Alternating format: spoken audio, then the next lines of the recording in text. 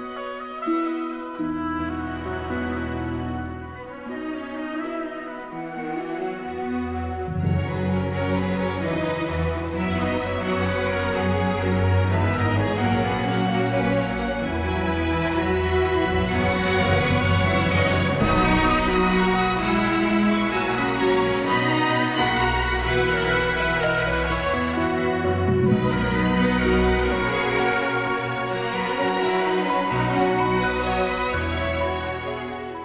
E salve a tutti e bentornati all'appuntamento settimanale con la parola di Dio in questa terza domenica del tempo di Pasqua.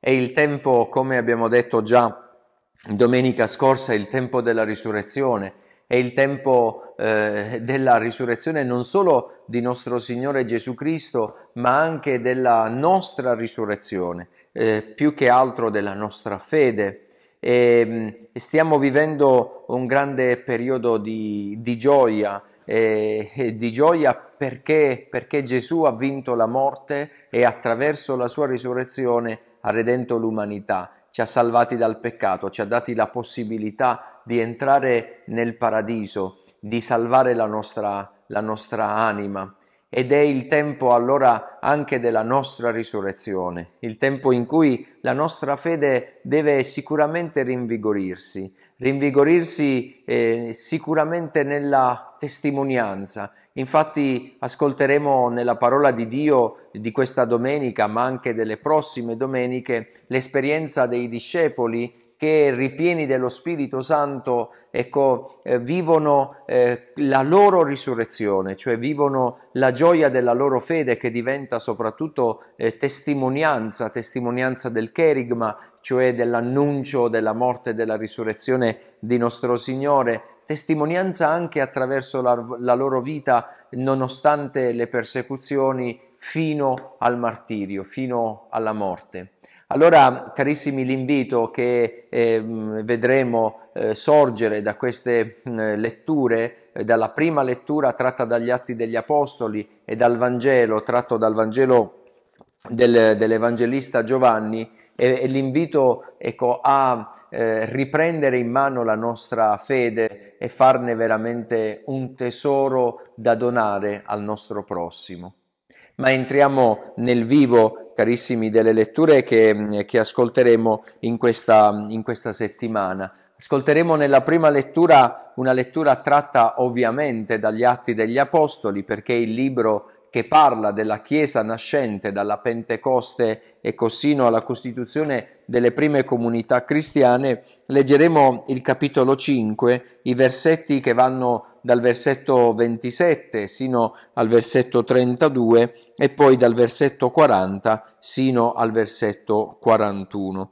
E questa è la predicazione eh, del cherigma da parte appunto degli apostoli. Eh, questa predicazione del, del, cherigma a Gerusalemme eh, subisce sicuramente una, una svolta, una svolta dopo l'arresto e la liberazione di Pietro e di Giovanni, subisce una svolta dopo eh, l'arresto di tutti gli apostoli e poi la loro eh, miracolosa eh, liberazione subisce una svolta la, la, eh, la predicazione del cherigma ecco, quando i discepoli ritornano al, a predicare eh, sul recinto del Tempio e vengono di nuovo arrestati e condotti eh, dinanzi al, al, Sinedrio. Infatti inizia proprio così, li condussero e li presentarono nel Sinedrio, il sommo sacerdote li interrogò dicendo non vi avevamo espressamente proibito di insegnare in questo nome? Ed ecco, avete riempito Gerusalemme del vostro insegnamento e volete far ricadere su di noi il sangue di quest'uomo. Cioè volete attribuire per forza a qualcuno la responsabilità di questo crimine. Effettivamente l'intento degli apostoli è proprio far ehm, accettare ehm, la responsabilità della crocifissione di Gesù per poi, ecco, da questa accettazione iniziare un cammino di conversione. Nel versetto 29 rispose allora Pietro insieme agli apostoli, bisogna obbedire a Dio invece che agli uomini. Vedete con quanta, ehm, come dire, con quanta decisione Pietro eh, parla e dice bisogna obbedire a Dio piuttosto che agli uomini. Nel capitolo precedente, in 4 al versetto 19, questa eh, espressione viene posta in maniera interrogativa, qui invece viene messa in maniera, ecco, proprio tassativa. E poi al versetto 30, il Dio dei nostri padri ha risuscitato Gesù che voi avete ucciso appendendolo a una croce. Dio lo ha innalzato alla sua destra come capo e salvatore per dare a Israele conversione e perdono dei peccati. E di questo noi siamo testimoni, e lo, noi e lo Spirito Santo che Dio ha dato a quelli che gli obbediscono. Ecco, in questi due versetti, anzi eh, due versetti dico bene, eh, il versetto 30 e il versetto 31, e poi concludendo il versetto 32, viene espresso il kerigma, cioè la prima predicazione degli apostoli, quella predicazione che ha permesso poi agli apostoli di fondare le comunità cristiane. E qual era il kerigma? Qual era questa prima predicazione? Che Gesù è morto ed è risorto.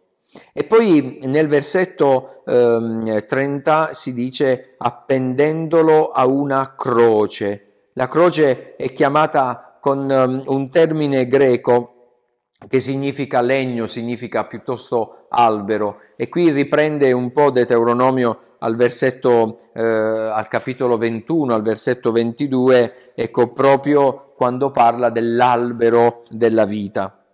E poi si fa un salto, si arriva al versetto 40 e richiamati gli apostoli li fecero flagellare, ordinarono loro di non parlare nel nome di Gesù, quindi li rimisero in libertà. Seguendo un po' l'indicazione ehm, eh, di, di Gamaliele, Gamaliele era un maestro molto, eh, come dire, molto stimato eh, e, e, secondo eh, Atti 22 al versetto 3, lo stesso Paolo era, è stato suo, suo discepolo.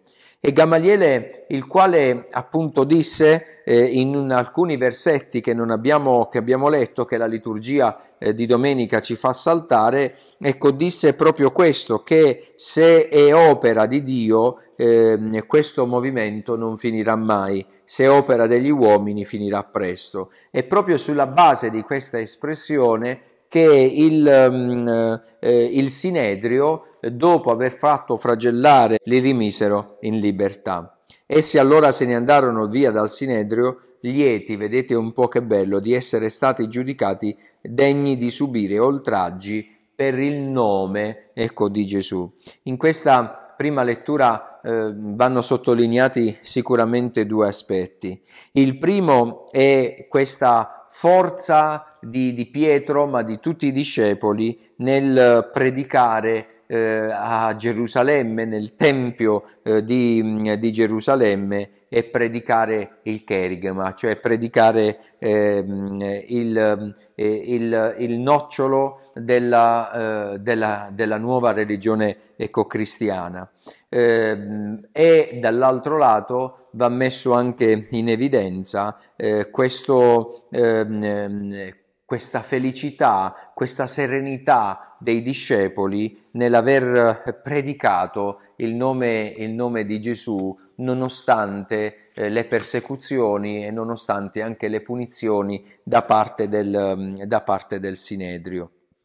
Ed entriamo così nel brano evangelico. Ascolteremo domenica prossima un brano evangelico dell'Evangelista Giovanni e il prosegue un po' del, del capitolo 20 che abbiamo letto domenica, domenica scorsa. Anche in questo Vangelo ovviamente c'è tutta la forza della, della risurrezione. Gesù appare ancora ai discepoli, Gesù appare da risorto ovviamente in forma gloriosa.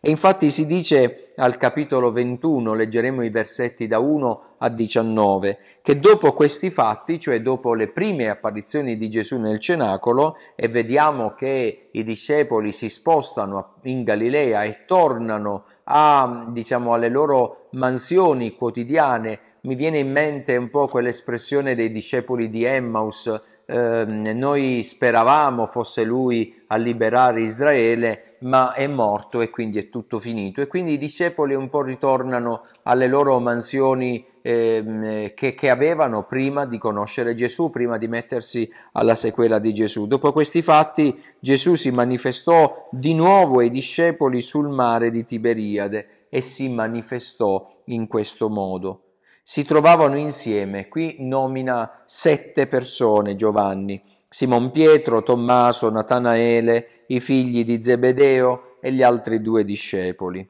Sette persone, che ovviamente è un numero altamente mm, eh, simbolico, e ci viene dato eh, questo mm, elenco di nomi. Il numero 7 è il numero della perfezione, no? è il numero 3 eh, 3 più 3 più 1, che è appunto Dio. Versetto 3. Disse loro Simon Pietro, io vado a pescare. Gli dissero, veniamo anche noi con te. Allora uscirono, salirono sulla barca, ma quella notte non presero nulla. Abbiamo già visto qui come lo sforzo dei discepoli lasciati a se stesso sia uno sforzo vano. Leggete eh, Giovanni il capitolo 15 al versetto 5. E quindi anche quella notte il loro mm, lavoro è sterile, è senza frutti ed era notte. E voi ormai sapete che nel Vangelo di Giovanni tutto ha un significato, anche, il, mm, anche la notte. Versetto 4. Quando già era l'alba, Gesù stette sulla riva, ma i discepoli non si erano accorti che era Gesù. Versetto 5 Gesù disse loro figlioli, non avete nulla da mangiare? Gli risposero no. Versetto 6 Allora egli disse loro gettate la rete dalla parte destra della barca e troverete. La gettarono e non riuscivano più a tirarla su per la grande quantità di pesci. Vedete, c'è una, eh, in questo versetto eh, c'è una conseguenza. Era notte nel versetto precedente, nel versetto 3, e non presero nulla. Quando era l'alba, quindi comincia a sorgere il sole, Gesù appare e stette sulla riva. E ovviamente con la presenza di Gesù, anzi ascoltando il consiglio di Gesù e quindi con la sua presenza, la pesca diventa abbondante.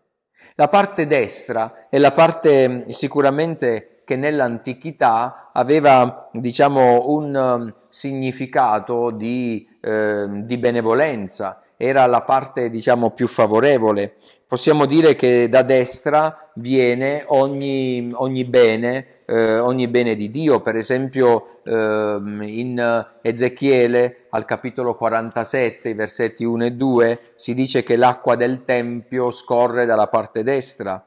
Oppure in Matteo 25 al versetto 33 dice che a destra sono posti i benedetti del Padre quelli che operano appunto la carità, oppure in Esodo 15, eh, oppure nel Salmo anche eh, 97 si dice la destra del Signore che opera meraviglie potenti. Anche per noi a tavola, se volete, eh, secondo eh, alcune regole della, di una buona società, eh, il posto alla destra del padrone di casa è considerato, diciamo, un posto importante no? ed è riservato ovviamente all'ospite ehm, di riguardo. Ma al versetto 7, allora quel discepolo che Gesù amava disse a Pietro, è il Signore. E Simon Pietro, appena uscì, udì che era il Signore, si strinse la veste attorno ai fianchi perché era svestito e si gettò in mare. Versetto 8. Gli altri discepoli invece vennero con la barca, trascinando la rete piena di pesci, non erano infatti lontano da terra, se non un centinaio di metri. Vedete, carissimi, ancora una volta eh, il discepolo che Gesù amava intuisce per primo eh, che eh, lo sconosciuto è il Signore e lo comunica a Pietro. Vi ricordate eh, la, la, la, mattina di Pasqua quando eh, le donne ricevono l'annuncio della risurrezione del Signore? Chi si muove per primo? È il discepolo che Gesù amava, è colui che arriva per primo alla, eh, alla tomba di Gesù, è colui che si accorge per primo che Gesù è risorto e che non era stato trafugato il suo corpo. Anche questa volta, in, eh, in questo episodio, è sempre il discepolo che Gesù amava che intuisce per primo che quella persona, tra virgolette, sconosciuta, era il Signore. Infatti, appena scesi a terra, vide un fuoco di brace con del pesce sopra e del pane. Prosegue la manifestazione anche qui in forma altamente eh, simbolica. No? Abbiamo il fuoco, abbiamo il pesce, abbiamo il mare e poi al versetto 10 si dice, disse loro Gesù, portate un po' del pesce che avete preso ora. Allora Simon Pietro salì sulla barca e trasse a terra la rete piena di 153 grossi pesci e benché fossero tanti la rete non si squarciò. Pur disponendo un po' dell'occorrente per, per il pranzo, Gesù si informa del pesce che hanno, che hanno, preso, tutto destinato ad essere cotto al fuoco e mangiato. A differenza della pesca miracolosa nell'Evangelista Luca, qui la rete non si strappa, eh, è, è, intatta e, e, abbiamo già detto che, che è poi Pietro eh, da solo che prende la rete con 153 grossi pesci dell'unica barca. Ora su questo numero 153 si sono scritti fiumi di, di, inchiostro, anche i padri della Chiesa si sono cimentati in diverse mm, interpretazioni. Ma l'interpretazione sicuramente più semplice, quella più plausibile, è quella di San Girolamo, ehm, il quale diceva che il numero 153 esprime eh, le mh, mm, specie dei pesci allora conosciuti. E quindi mh, mm, quel 153 significa che, eh, che, che i discepoli eh, pescano eh, qualsiasi tipo di pesce, ogni sorta di pesci. Eh, c'è un, un, parallelismo, per esempio, con la parabola del regno in Matteo al capitolo 13 al versetto 47. È bello perché poi è Pietro che va a prendere ehm, eh, la, ehm, la rete con 153 grossi pesci. No, Pietro che è il capo della Chiesa che prende l'umanità intera, se volete. No? Eh, a Pietro è affidato appunto questo compito. Versetto 12, Gesù disse loro, venite a mangiare. Nessuno dei discepoli osava domandargli chi sei, perché sapevano bene che era il Signore. Si presume che qui Giovanni avesse, diciamo così, un po' eh, sussurrato alle orecchie degli altri discepoli che lui si era accorto che quel personaggio misterioso, ecco, fosse veramente il Signore. Versetto 13, Gesù si avvicinò, prese il pane, lo diede loro e così pure il pesce. È il memoriale della moltiplicazione dei pani e dei pesci che viene raccontato nel, in Giovanni eh, al, capitolo, al capitolo 6. Era la terza volta che Gesù si manifestava ai discepoli dopo essere risorto dai morti. La terza volta, anche qui il numero tre, sapete, è un numero simbolico. E tre apparizioni, è il numero della pienezza. Il numero tre è il numero della pienezza. E poi c'è dal versetto 15 sino al versetto 19 c'è proprio questo eh, bellissimo colloquio tra, eh, tra, Gesù e Pietro. Conseguenza eh, di questo convito è proprio il triplice eh, richiamo eh, del Signore a Pietro, questa triplice domanda che mm, vuole un po' riparare, se volete, eh, il triplice rinnegamento di Pietro. Eh, esiste sicuramente una reale debolezza di Pietro, ma nonostante tutto gli viene assegnata una missione molto importante. La sua eh, solidità viene unicamente dal Signore e Pietro è pastore, Pietro è roccia per grazia e non per merito, perché se fosse per merito Pietro non avrebbe sicuramente avuto quel compito. E nella domanda di Gesù ehm, viene utilizzato il verbo agapao, mi ami tu? E Pietro risponde sempre con un altro termine, con il verbo fileo, io ti voglio bene. L'amore di Gesù è un amore che, eh, che dona la vita ed è a questo amore che Gesù vuole, sta educando, vuole educare Pietro. Se vuoi essere il capo della comunità cristiana, se vuoi essere il pastore, e anche sul termine pastore c'è proprio una, un'escalation, e, e anche sul termine agnelli o pecorelle c'è proprio un'escalation, se vuoi essere la guida, se vuoi essere il pastore, e allora devi trasformare la tua filia in agapao, cioè il tuo voler bene in un amore che in un amore smisurato, in un amore che dona appunto la vita. Terminiamo così, carissimi, il commento a questa bellissima pagina evangelica eh, de, dell'Evangelista mm, Giovanni. Terminiamo così, ma anche qui possiamo prendere sicuramente degli spunti. Il primo è sicuramente riconoscere Gesù risorto nella nostra vita. Un po' noi dobbiamo eh, somigliare al discepolo che Gesù amava, cioè colui che veramente vedeva con gli occhi dell'amore colui che vedeva eh, la presenza di Gesù risorto prima degli altri, perché vedeva con gli occhi della fede, con gli occhi dell'amore e non come, diciamo così, eh, Tommaso, per esempio, domenica scorsa, se non vedo io non credo.